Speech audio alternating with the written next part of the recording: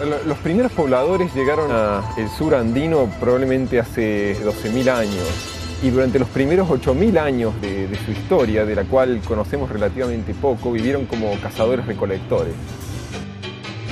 Viajando caravanas de llamas cargadas, conectando lo que es el desierto de Atacama con el altiplano de Bolivia y la puna argentina, y la puna con los valles y quebradas de su borde oriental, y más allá introduciéndose en la selva, en lo que conocemos como la zona de yungas o el bosque tucumano. ¿no?